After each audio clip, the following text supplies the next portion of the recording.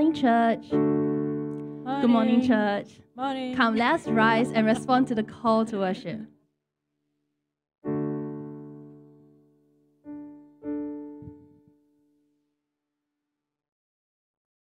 Make a joyful noise to the Lord, all the earth. Serve the Lord with gladness. Come into his presence with singing. Know that the Lord, he is God.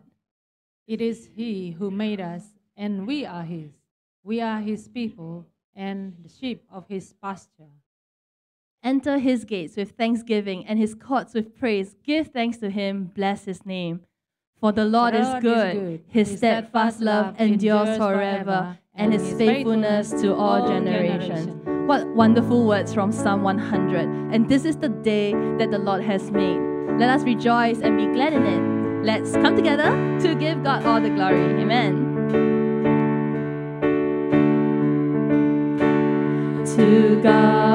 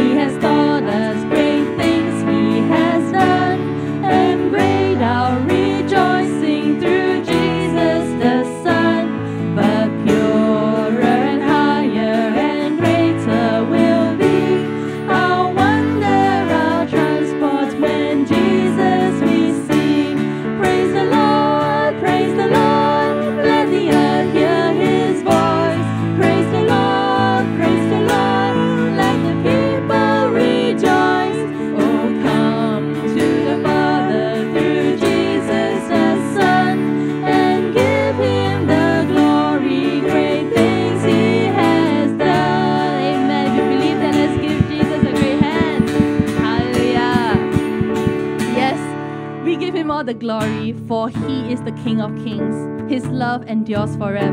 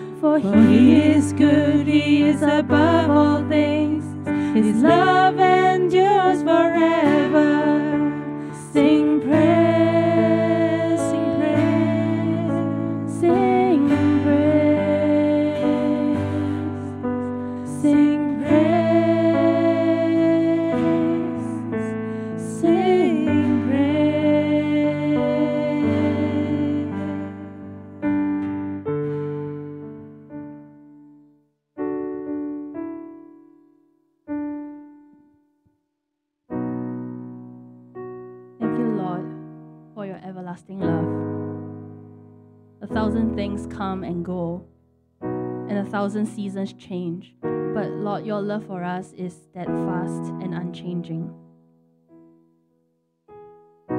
We can never truly understand how much you love us. But help us, help us as, to understand as much as possible. And Jesus, help us to turn our eyes to you. Even though times can be challenging and it can be difficult to persevere in following in your footsteps. Jesus, help us be reminded of who you are and just how much you love us.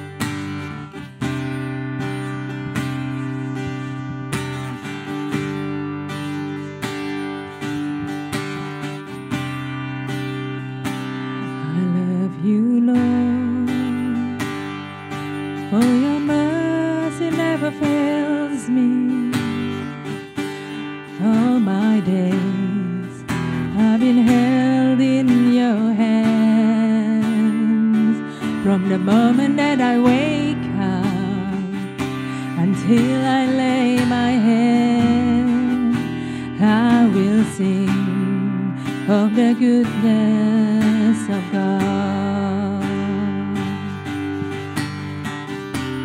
All my life you have been faithful.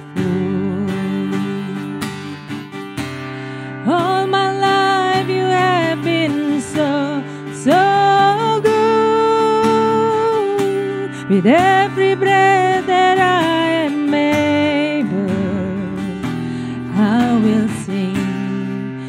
the goodness of God. Church, let's sing I Love Your Voice. I love your voice.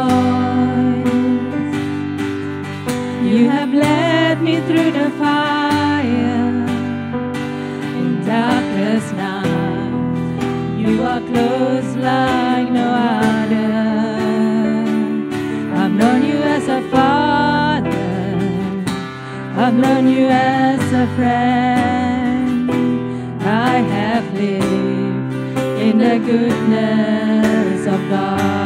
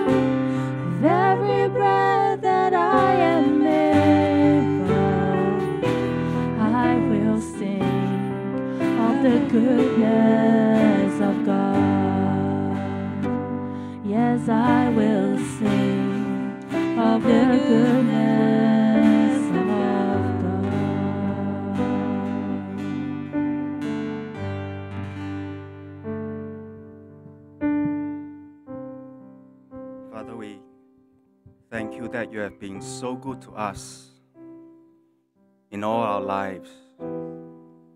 We thank you, Lord, that you have been so faithful.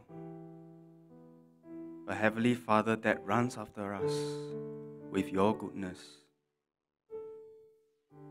We really thank you, Father, for how much you love us. Take a seat as we continue our worship by going to our God in prayer.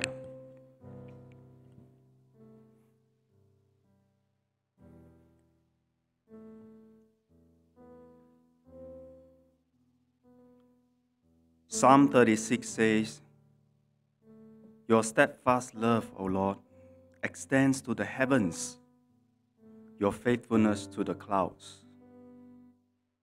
Your righteousness is like the mountains of God. Your judgments are like the great deep. Man and beast you save, O Lord. How precious is your steadfast love. The children of all mankind take refuge in the shadow of your wings. They feast on the abundance of your house, and you give them drink from the river of your delights. For with you is the fountain of life, and in your light do we see light.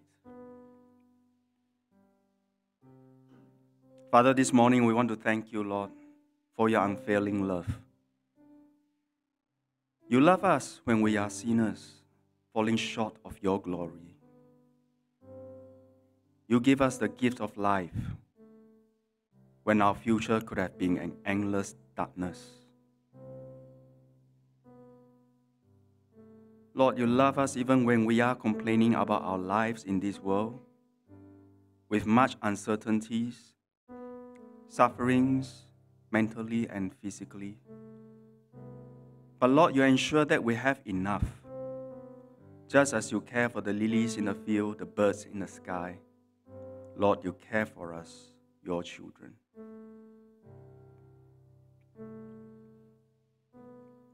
Lord, you love us even when our bodies are failing, when some of us may be sick, maybe unwell. But Lord, you ensure that your grace continue to be sufficient for us. For we know that we have an all powerful God whom we can pray to and whom we can receive peace from. For Lord, you ensure that we will see your mercies day after day. And we can be assured, like what the psalmist say, in the, in the valley of shadow of death, Lord, we will fear no evil, for you are with us.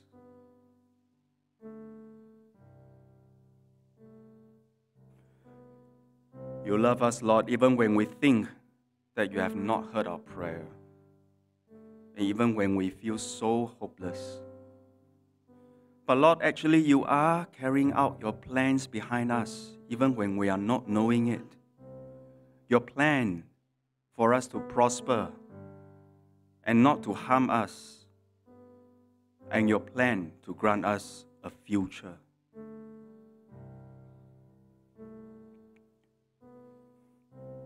And Lord, you love us even when we feel anxious and restless over what is happening around us and around the world.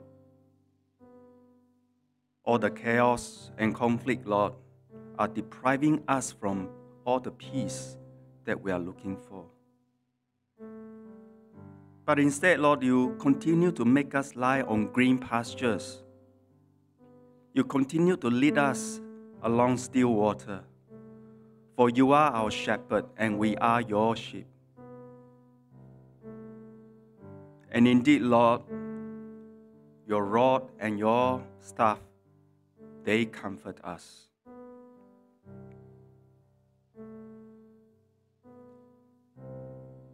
So, Lord, for many of us who may be going through difficult times at this moment, Lord, may we reminded, be reminded, Lord, of the price that you have paid out of love for us. The price of our Lord Jesus, who went through the journey of carrying his own cross, suffering immense humiliation and pain.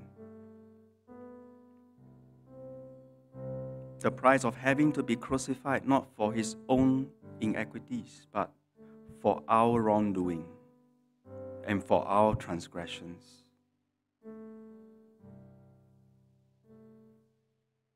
Lord, your love for us is simply beyond description.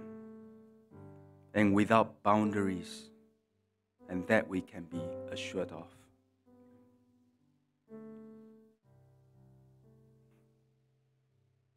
So, Father, even as we journey to become a disciple making church, Lord, may we ask that you grant us a heart of humility. For even the Son of Man came not to be served, but to serve, and to give his life as a ransom for many.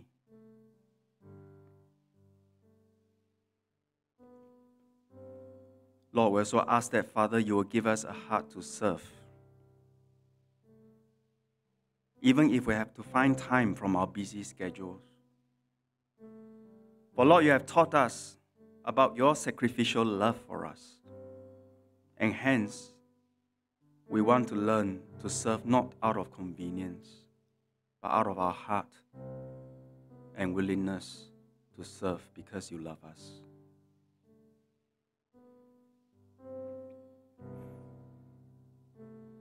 Father, as we need more people to step forward to serve in both ministries and church committees, we pray that, Lord, you'll raise up men and women who have the hearts to serve and to continue your good work in Agape.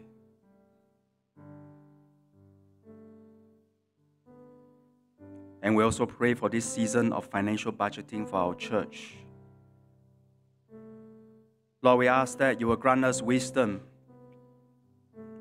You'll grant wisdom to the finance team and to LCEC in their budgeting and approval process. For Lord, the resources that we have, they all belong to you. So we pray that, Father, they will be placed for good use according to your purpose. We also want to commit all the other ministries, Lord, be it children ministry, young adult, youth, even our Chinese congregation, Lord, we and our missions committee, Lord, we want to commit everything into your hands as they are doing your good work, Lord. We just want to mm. ask that you strengthen them as they go along and you continue, Lord, to be with them in their journey, Lord. Continue to grant them courage and the spirit of not giving up to do good. For Lord, we know that we can do all things through you who strengthen us. So even as we are looking around the world that is full of so many uncertainties, the war, climate, climate warming, and even all the regional conflicts, Lord, that are not seem to get better, but it seems to escalate even to a much higher level. Lord, we just want to put this burden under your feet. For Lord, there are many things that we can't do much about it, but Lord, we know that you, God, can move mountains. So we trust that, Father, you have a plan to help, to help us, to help this world. We ask that, Lord, you will instill in the hearts of the leaders around the world the hearts to embrace peace and not war. The hearts to embrace love and not conflict. So, Lord, we thank you, Lord, this morning for listening to our prayer. As we conclude our corporate prayer, Lord, we just want to pray the prayer that our Lord Jesus taught us, saying, Our Father, who art in heaven, Hallowed be thy name. Thy kingdom come. Thy will be done on earth as it is in heaven. Give us this day our daily bread, and forgive us our trespasses, as we forgive those who trespass against us. Lead us not into temptations, but deliver us from evil. For thine is the kingdom, and the power, and the glory, forever and ever. Amen. Morning, church. Welcome to this beautiful Sunday morning service. Our Lord is good, for this is the day that He has created. So let us rejoice and be glad in it. Right? Um, before we start our announcement this morning, um, can I have a show of hands of anyone here who are here with us for the very first time in Agape? Can I just have a show of hands? Any newcomers? Very first time? Or maybe the second time? Oh, yes. Gentleman at the right side. Yeah, do join us for our community lunch after service. We have a community lunch just down there at our first level at the atrium there. So join us for, for lunch so we can get to know you more. Right? Thank you for joining us. All right, uh, maybe we shall rise and greet one another in the name of our Lord.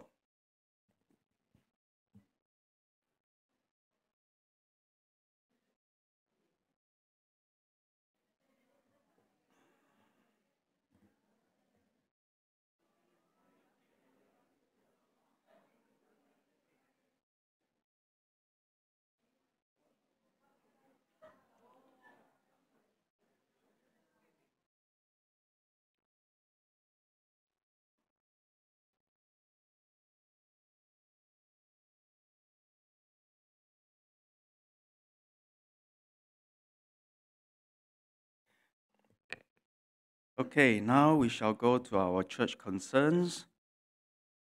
Yep, the first announcement, I think this has been going on for many months now, the ladies' walk. Right, so we are calling all ladies come to join us for our ladies' walk on the 8th of June, which is next Saturday. We will be meeting at Raffles MRT Passenger Service Center before proceeding for the walk. So please contact Wee Fong if you have any uh, questions right? Otherwise, we will see you there. Next. As you can see today, one of the pastor is missing, Pastor Jason. He's on leave, lah, all right? And he's away overseas for vacation with the family. So please pray for him also and for the family uh, so that he can have a good rest and also have a good family time together. So if you need any pastoral care, obviously Pastor Millie is here right, to attend to any of your uh, pastoral care needs.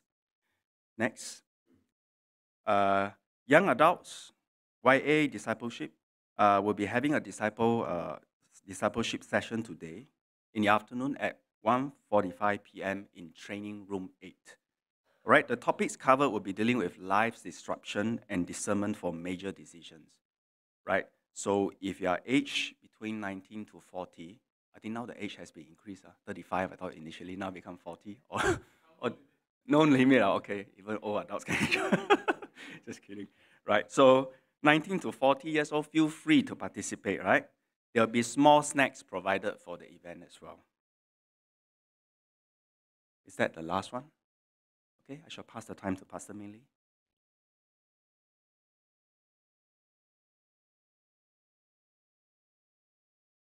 Let us pray.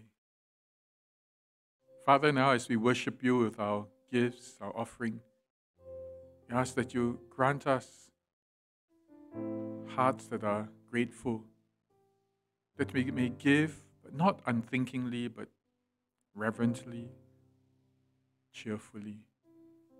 We ask in Jesus' name. Amen.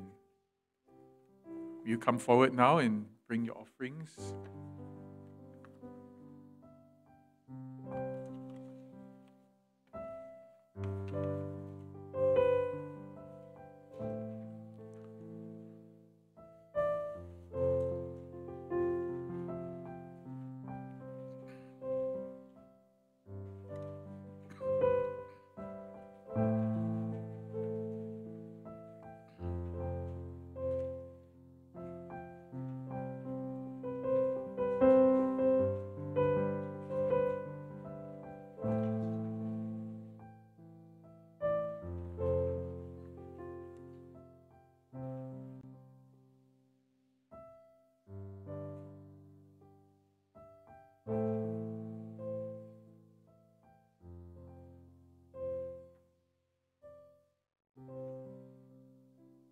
Let's stand for the doxology.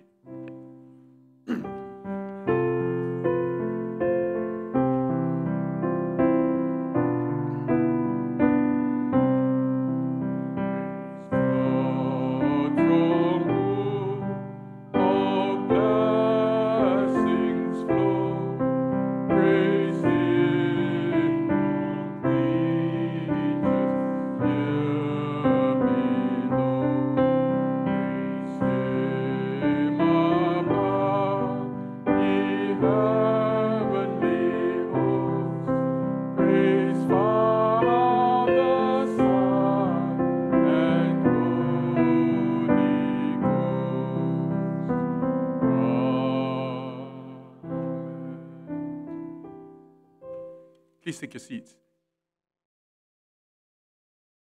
So, our Bible reading schedules have moved over to the New Testament, and we are on to the tail end of the Gospel of Matthew. So, today's readings will be, um, I think it's Matthew 27 and 28, um, the crucifixion, the trial and the crucifixion of Jesus, as well as his resurrection. I've chosen to read Matthew, um, to share about Matthew chapter 27, verse 32 to 50. I'm going to share some thoughts on it. Um, I added the other six verses to the 44 to make it more complete.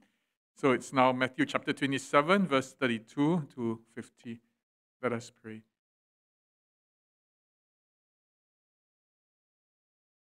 Father, speak your truths to us,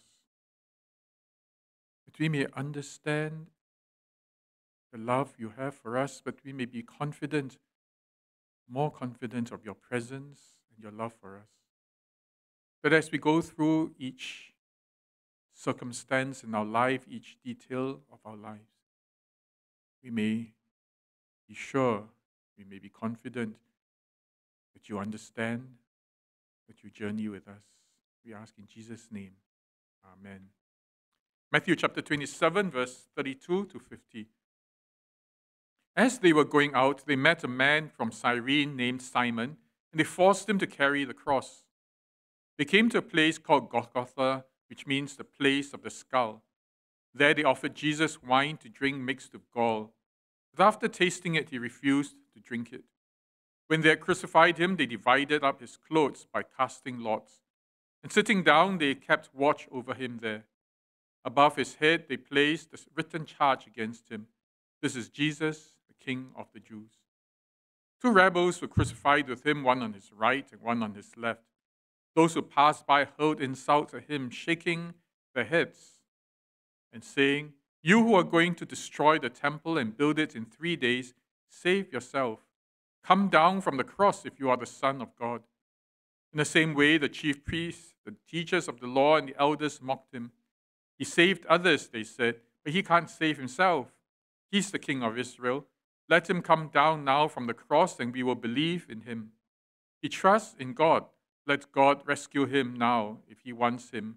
For he said, I am the Son of God. In the same way, the rebels who were crucified with him also heaped insults on him. From noon until three in the afternoon, darkness came over all the land. About three in the afternoon, Jesus cried out in a loud voice, Eli, Eli, lema sabachthani, which means, My God, my God, why have you forsaken me? When some of those standing there heard this, they said, He's calling Elijah. Immediately one of them ran and got a sponge. He filled it with wine and vinegar, put it on a staff, and offered it to Jesus to drink. The rest said, Now leave him alone. Let's see if Elijah comes to save him.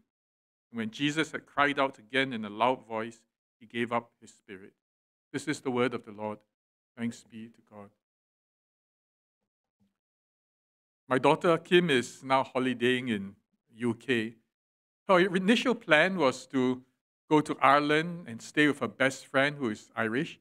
And then the second half to visit London. She had spent a lot of time planning. She's a very detailed person. But while they were in Ireland, her best friend's father suddenly died. Immediately, my daughter canceled all her plans to go to London and spend the rest of the holiday in Ireland. As a father, I felt very sad. I felt that she had wasted her holiday because she had really saved up whatever little leave she had just for that trip. She had saved up a lot of money for that trip. She had made so many arrangements in London, meeting friends, visiting this place and that place. It was a holiday that she looked forward to. And suddenly, everything was cancelled because her best friend's father passed away. But to my daughter, that was nothing at all. It was something that she could do and she had she should do. It was a most natural thing because this was a best friend who was grieving. It got me to reflect on friendship and love. There's something maybe so precious and yet it would mean nothing if, for the sake of love, you would give up all that just to care for that person. But it wasn't something that she, there was not much that she could do really. Was just being with a grieving friend, spending time with a grieving friend. But as I reflected on this too, I realized that it is not an easy thing to share grief with another. We are quick to help another, offer help. But one of the most important things about love is really to do nothing and just be with the person. And that's where we find it so difficult. Think of the story of Job. Job had good friends, very, very close friends. They spent seven days in silence with Job as he was grieving over the death of his children, over the loss of his property, over his illness. Seven days. How many of us would spend seven days just being with a friend? Say seven days and nights. They didn't go home, they just stayed with him seven days and nights. That is what friendship is. But then Job, the, on the eighth day, opened his mouth and he cursed the day that he was born. Suddenly, he began to blaspheme. He began to talk about how unfair God is, that God should have killed him right from that day, that cursed be that day, that terrible day. He talked about how righteous he was. And suddenly, those friends lost their patience. They could no longer take what Job was saying, it was way too hard for them. It's okay to offer help, it's okay to, it's easier to just be with a friend. But the moment the friend in their pain talks, cries out in agony about the injustice of their lives, suddenly we lose patience with them. So often, then, as our friends begin, begin to talk about God deserting us, or how terrible God is, or how terrible people are, how often we complain about others and we say, we lose patience right away. This person never changes, the perspective never changes, always grumbling about someone else, never about themselves just as the friends of Job felt about Job. He's not even admitting that he's a sinner. He's just saying that God is so unfair, and that's blasphemy. And they lost patience with him. Many of us lose patience with friends like that. We, there is a limit to which we can journey with someone in pain. But sometimes journeying with the person in pain, sharing the person's pain is the most important thing that could happen, that we could do for that person. There was an old man in my housing estate. Every morning to late at night, he would be on the void deck. Um, in the evenings, you would see cans and cans of bottles of beer all around him. He lived in the neighborhood. He lived upstairs, actually, from my flat. He was former church uh, church uh, worker, and he actually gave me a whole lot of his theological books. But he had come to a point where he was so despondent, so desperate. He hated everyone, he was resentful of God, he was resentful of anyone. I happened to make friends with him because I was pretty friendly and I sat down and talked. But listening to someone gripe about everyone else, about his church, about his family, about his neighbors, about God, every time you met, met a, met a limit for me as well. Because how much can you take a person who's always so bitter with life? And after a while, I visited him less. I spent less time. Very often, I just say, hey, hi, um, see you later, and then rush home. Sometimes I avoid him altogether.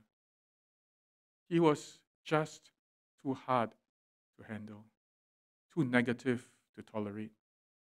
One day, on the second day of Chinese New Year, as I was waiting for the lift to come, I saw his body fly down from upstairs and land right in front of me. He had killed himself in despair. And I asked myself often, did I do wrong not spending more time with him? I com- comforted myself in saying that, well, really, there's nothing much I could do. And yet, as I thought about it, many people do not need us to do a lot of things for them.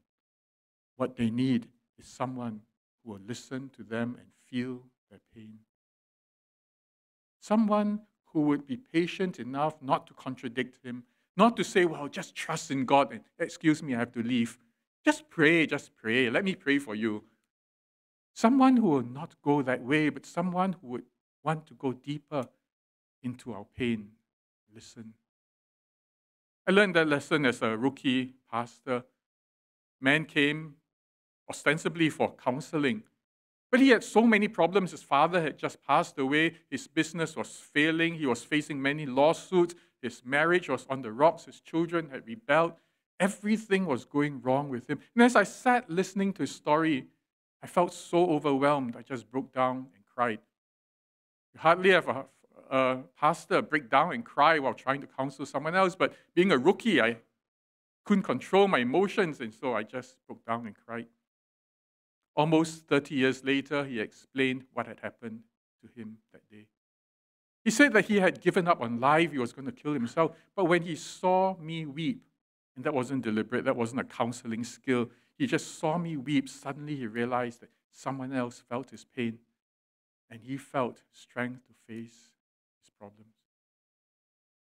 Over time, I realized that that was a reality. That often what we need is not someone to do things for us, help us this, or make us full, or get rid of all evil, but simply someone who knows how we feel, someone who will not contradict us when we talk terrible things about our feelings, someone who will feel the pain with us. And so we read today about Jesus. Jesus, on his way to the cross, was offered an anesthetic. He was offered sour vinegar and gall. Gall is not what comes out from, it's not bile, not what comes out from the gallbladder. It is a bitter drug, narcotic. Comes from a plant. And it's meant to be anesthetic, to numb the pain. When Jesus tasted that and knew that it was an anesthetic that would numb his pain, he rejected it. It says that he refused to drink it in verse 34. Why? Because Jesus did not want to be desensitized, he did not want to be numbed from the pain. He wanted to experience the full pain. Why was that necessary? You see, we often think that when God helps us, God loves us, means that He'll help us in all our problems. And so Jesus did. He healed the sick, he helped the blind to see, he even raised the dead. He did all these miracles, but there was one thing he knew would not take away the grief, and that is the pervasive nature of sin. Jesus can heal all diseases. Jesus can raise the dead. He can do all sorts of miracles. What he cannot do on earth is to remove sin. Because sin pervades every living being, Sin pervades all that we do and think. And there's no such a thing as the offender and the offended, the victim and the perpetrator. We are always the offended and the offender. We are always at different times or sometimes at the same time the victim and the perpetrator. And this sin remains with us. And so, even if we were sick and we were fully healed, the sin of of others and our own sin remains and we are not fully treated. And so for Jesus then to just work magic, to heal, to lay hands and all that, doesn't solve a deeper problem, the problem of sin and pain, the consequences of sin, which is pain. And Jesus, by then accepting and receiving the pain, walking through the greatest pains of all, he then showed us that He cares for us enough to journey with us. And it is when we know that Jesus and His love for us journeys, not only understands us, but wants to feel that pain, journeys with us, that we find strength face each day. More than that, we believe then that when Jesus says in heaven there is no more crying and no more weeping, no more sin and no more pain, we can believe Him because it comes from a mouth of God who was not afraid to share that pain with us. It's not glib saying that when Jesus I don't worry, everything will be fine. Just hang on, everything will be fine. Jesus didn't do that. What he did was to go through that pain with us and even more, and refuse to be sedated, to feel the full impact of that pain. That's the kind of friend, that's the kind of ruler, leader, that's the kind of king, that's the kind of God that you can trust. One who does not just say it and then run away, one who feels the depth of it. So, what, what examples do we have that Jesus, Jesus felt the pain? What sort of pain did Jesus feel? First thing was that he found injustice and the abuse of power. In verse 2 alone, it says, As they were going out, they met a man from Cyrene named Simon, and they forced him to carry the cross. Injustice and the abuse of power. The soldiers could force Simon to carry the cross simply because they could. No other reason. They had no right. They had no legal rights at all. They had no moral rights at all. They just found a man and said, Come and do it. Why? Because they could do it. Jesus himself was crucified simply because it could be done.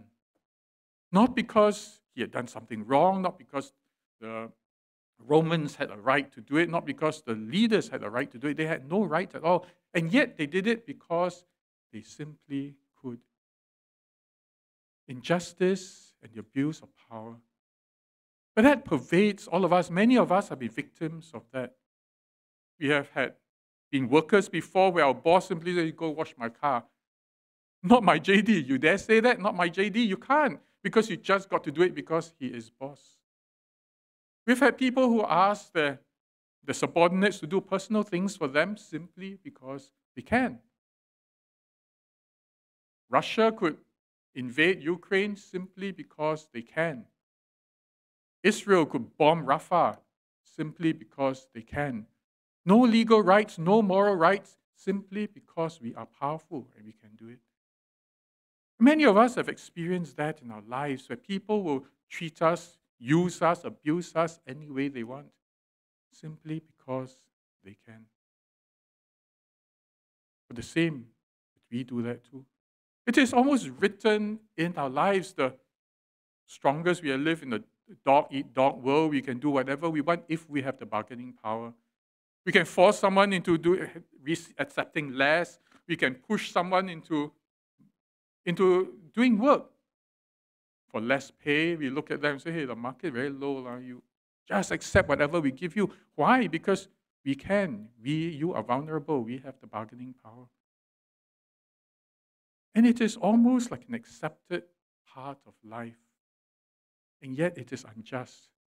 It is an abuse of power. Think of it. How often has that happened to you, or how often have you done that to someone else? That is unjust, that is unfair, that is forced, simply because the one who does it can do it. This was one of the pervasive sins that was there something that people experienced, and Jesus went through that because he understands how we feel. The second is fear. Fear is a wonderful thing because it keeps us out of danger. Fear is one of the biggest weapons of the devil. When fear is instilled in us, we do we are slaves to the threats. Verse 33 says they came to a place called Golgotha, which means the place of the skull. It was called the place of the skull because it looked like a skull. But I'm sure it was a very carefully chosen place for crucifixion. What a place to be carrying a cross and walking to your crucifixion that looks like a skull. It's meant to bring, bring terror to a person. The crucifixion itself was meant to bring terror, the torture before the death. To a Jewish person, it was even more effective because in Deuteronomy chapter 21, it says, Cursed is the person who hangs on a tree.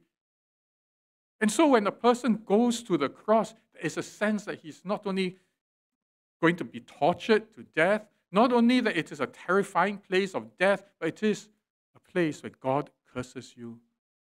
It was a place of great fear. Do you know whether you what do you think? Do you think God Jesus actually felt fear?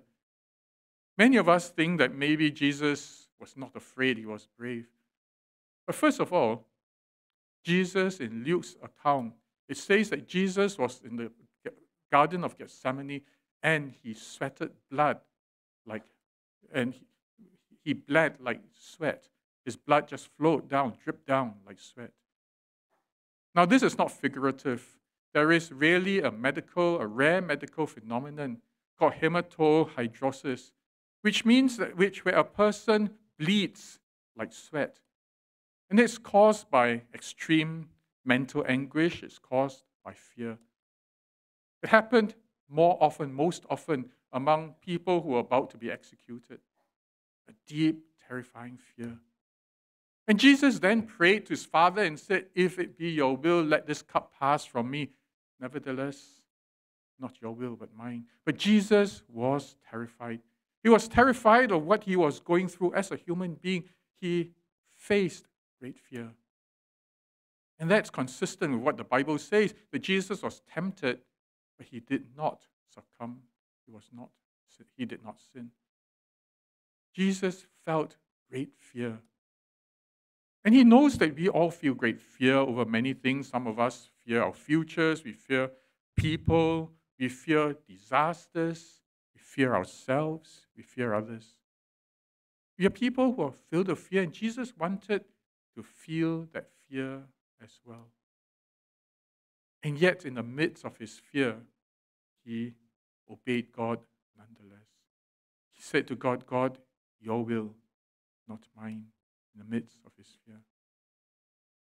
But Jesus did not want to be sedated just to lessen his fear, just to make him less conscious of the fear that was in his heart. He felt the depth of it to the extent that he sweated blood. And then the other one that's common sin is avarice. Verse 35 When they had crucified him, they divided up his clothes by casting lots. Avarice is not simply the love of money, it is the love of money to the extent of exclusion of other things. Think of it these soldiers saw Jesus hanging there and they couldn't wait to take off his clothes. No sense of his dignity, no care for his dignity. I mean, the clothes, Jesus wasn't a rich man. Jesus had barely anything. He had a cloak, a coat, and inner garments. And they take all of it. We never considered anything about his dignity, about at least letting him be fully clothed till he died and then take. But instead, they took his clothes, tore it into four parts, and his inner garment, undergarment, they just threw lots and split it up. Such was their avarice, their love for money. But love for money is something that is so common to all of us. We are so often tied down and obsessed with money. I was doing, I was attending a course on criminology, and one of the things the sociologist said was that for Chinese, well, most Chinese, the one cause of crime is money. For other races, there are other things. But for Chinese, the one obsession for Chinese is money. And we know that from the gambling dens, we know that from different vices, that we are money obsessed people. And sometimes we suffer that from others who are money obsessed and they do things just for money and they don't care for your feelings, they don't care for your rights, they don't care for justice for you. We have done that to others too. That the one consideration in our heads is do we save money? Do we earn money? Do we benefit with money? Money is the one main cause in our lives, and few other things matter to us. Money was foremost in the minds of the guards, the Roman soldiers. Nothing else mattered. Not the dignity of Jesus, nothing at all. It's such a sin that we are victims of that from others. We are also perpetrators of that in our pursuit for money. We also hurt others, sometimes deliberately inflicting harm, sometimes just ignoring the needs of others. When someone comes with a need and we think, well, that's more of my money, we don't give because money is so important to us. Avarice was something that affected Jesus because on the cross, he was stripped naked just to take his clothes away. And then there was cynicism. Those who passed in verse 39, it says, those who passed by hurled insults at him, shaking their heads and saying, You who are going to destroy the temple and build it in three days, save yourself. Come down from the cross if you are the Son of God. This was like a loss of faith, loss of hope.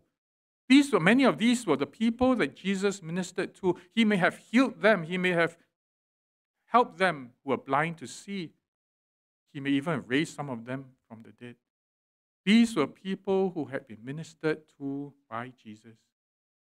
And yet, at that moment, in the moment of need, they challenged, they laughed at Jesus and said, you, you can't even do anything. Really? Are you that good? They had become cynical, they had lost their faith in God. But you know, that again is so much like human nature.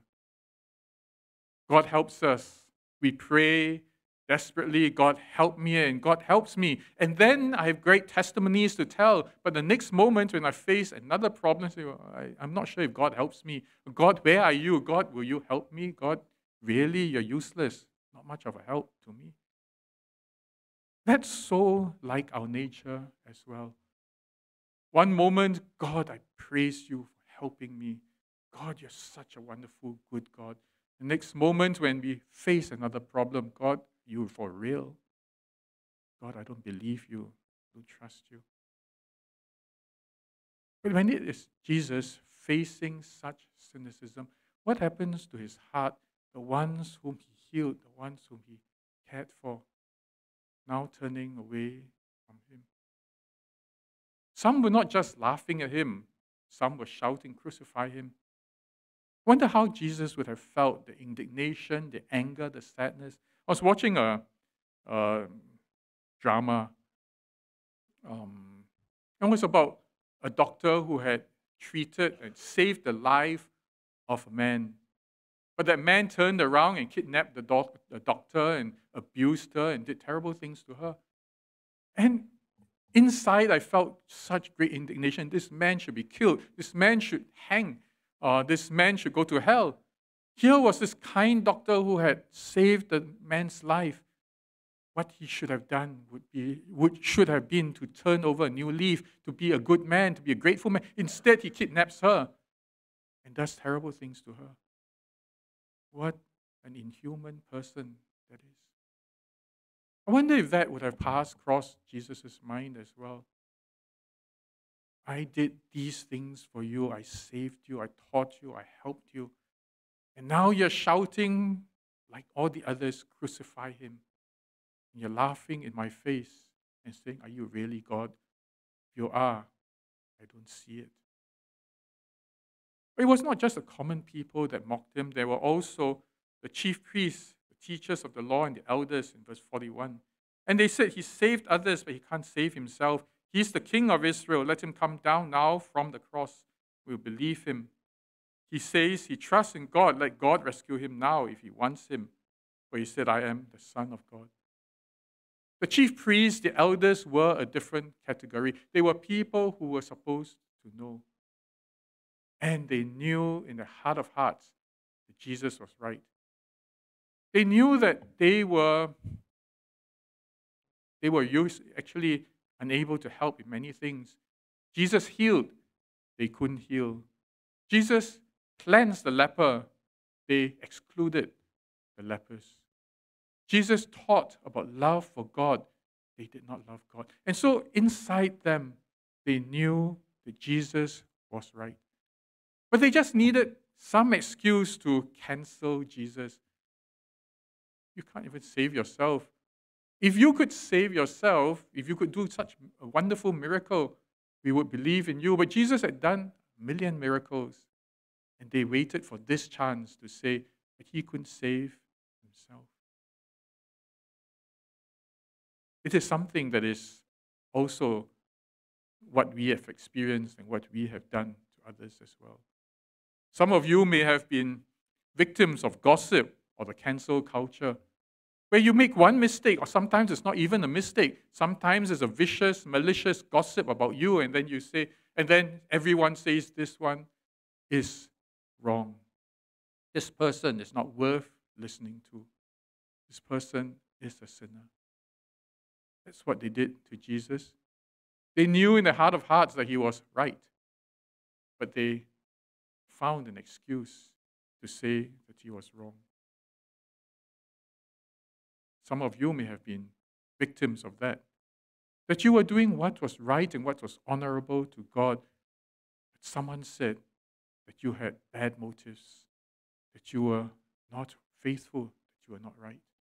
And suddenly, all that you've done, all that you've cared for has been cancelled, and you feel that grievance, that pain. Some of us have done that at the same time to others, where we have known that someone is right, but we would pass a rumor. I know it happens all the time because in primary school, I've known children who are who were maligned against, who, who others had vicious gossip against them. Little children, starting from young, they had these things. We feel the great pain. Jesus did not want to be sedated against that either. Wanted to feel the pain of those who have been aggrieved. See, at the end of the day, in verse 46, says about three in the afternoon, Jesus cried out in a loud voice, My God, my God, why have you forsaken me? Some commentators think that it's because Jesus then bore the sins of the world and God forsook him. I think there was something more to it because what he was saying was an echo of what David, King David, said in Psalm 22, verse 1 My God, my God, why have you forsaken me? I live in a God forsaken world. I am surrounded by hostile, evil people who do things to me, who care more about money and betray me for money, who use their power to make me do things to condemn me simply because they could, who malign against me, who speak evil of me. And, and King David, in that place, in that context, cried out to God, Everyone hates me. I'm surrounded by people who seek my life. God, where are you? You do not exist, do you? And Jesus cried that same cry. And to some of us, then it may seem really blasphemous. How could Jesus dare to say something like, My God, my God, why have you forsaken me? I mean, he is Jesus himself. If I were to say, God has forsaken me, I, I think I would be in trouble too. The people who say, Pastor also say like that. But Jesus felt the full brunt of evil in the world. And he felt that pain of God, of living in a God forsaken world. And so, in that pain, in that anguish, he cried out to God, God, why have you forsaken me? It's not kosher. It's not something that a Christian, a normal, good Christian, would say about God. And yet, many in our hearts would say that too when we experience deep pain and betrayal, and abuse of power. And Jesus felt that way. And he did not he did not anesthetize himself, he did not sedate himself so that he would not feel it.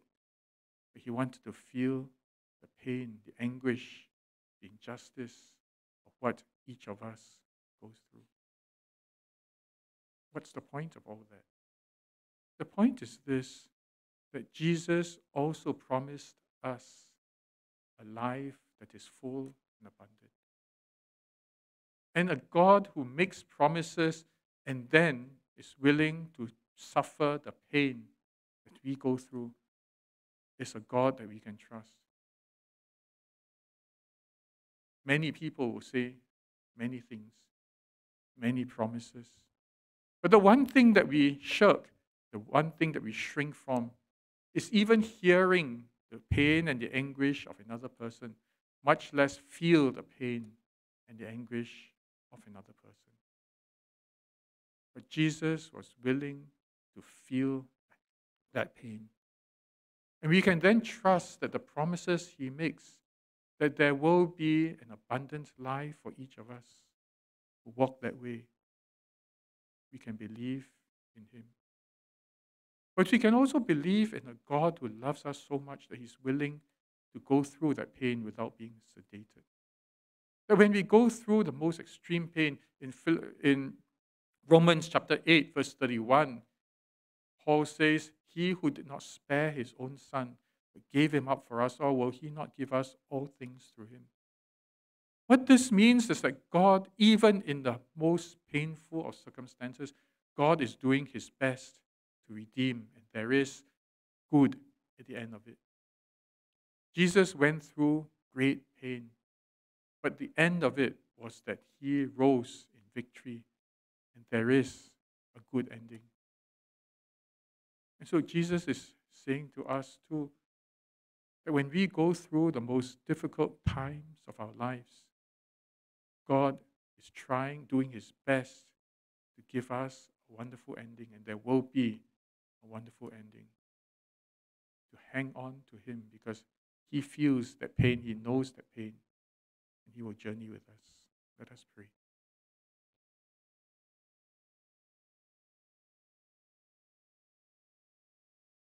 Father, help us each day and every moment. As we pay, face the pains of life, as we feel, face the injustices of life, when we face abuse, when people can do things to us simply because they can.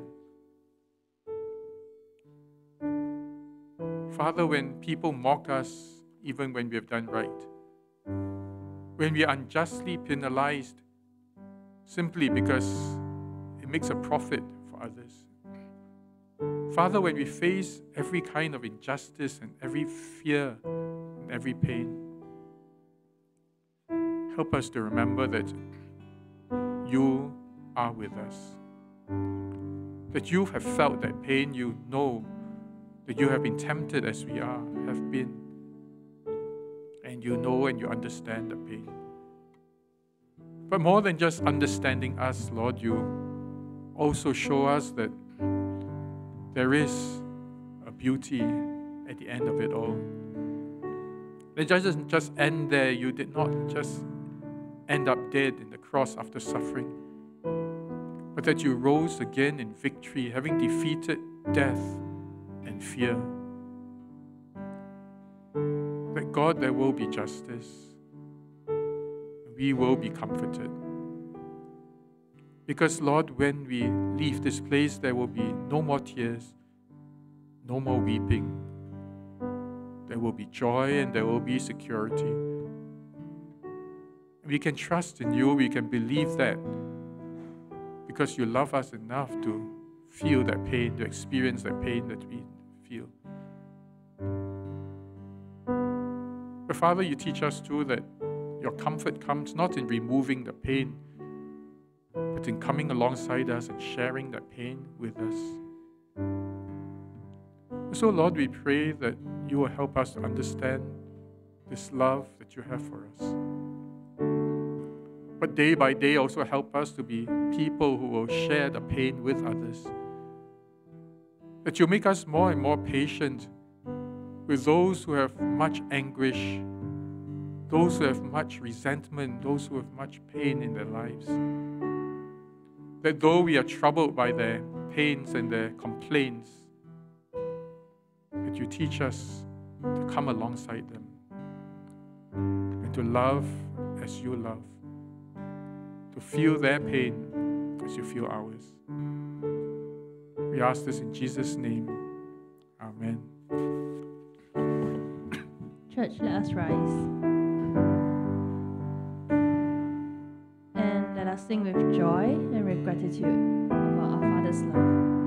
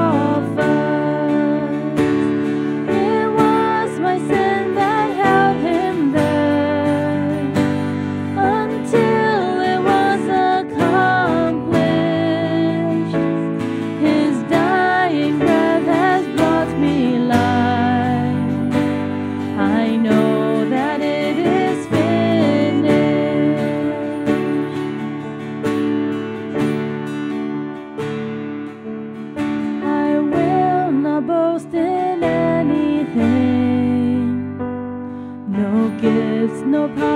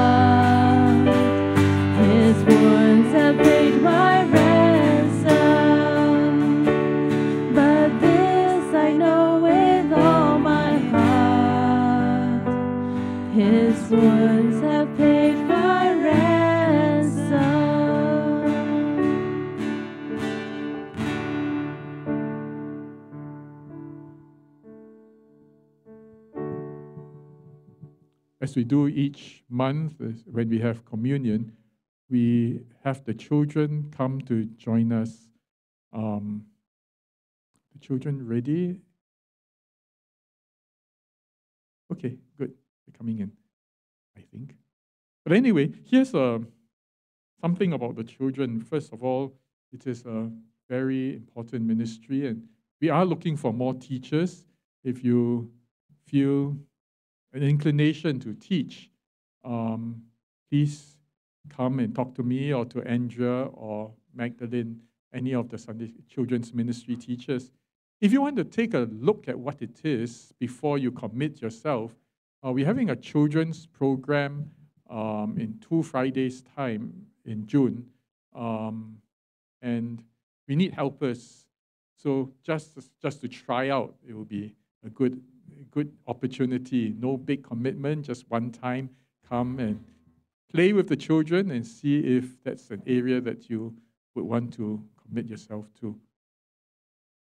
Now let's begin our Holy Communion with a great thanksgiving. The Lord be with you. And also with you, Lift up your hearts. we lift them up to the Lord. Let us give thanks to the Lord our God. It is right to give our thanks. It is right, the good and joyful thing always and everywhere to give thanks to you, Father Almighty, Creator of heaven and earth. Holy are you, and blessed is your Son, Jesus Christ.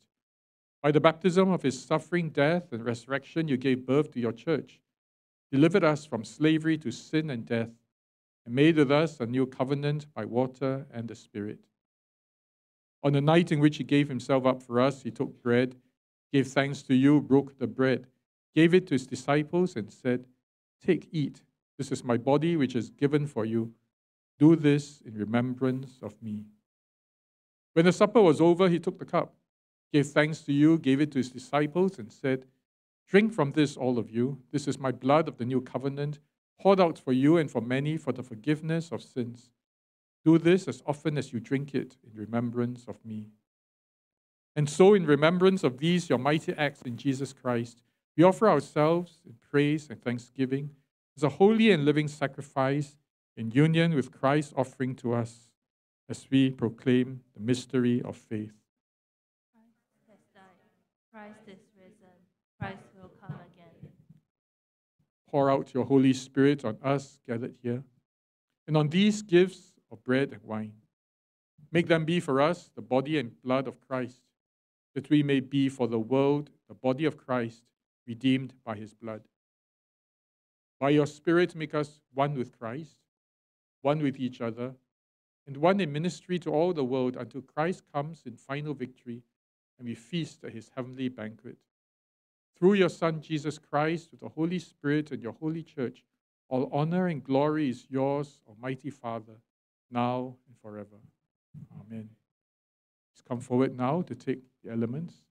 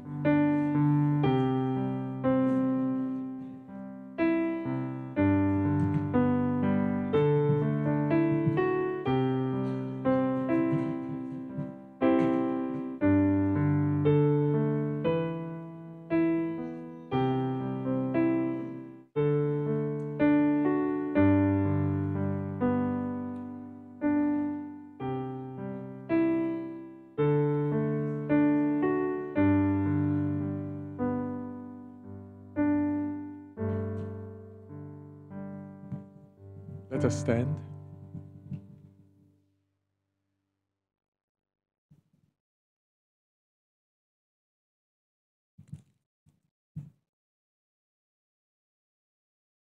This is the body of our Lord Jesus Christ that's been broken for us. Take this and remember God.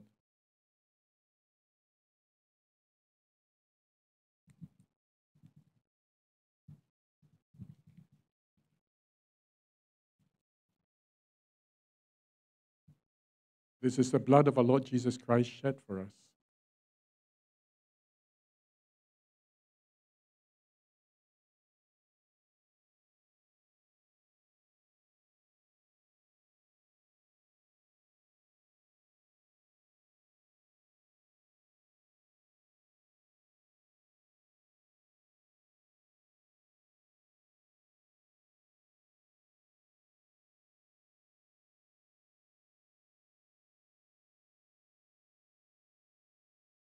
Let us now pray together the thanksgiving prayer.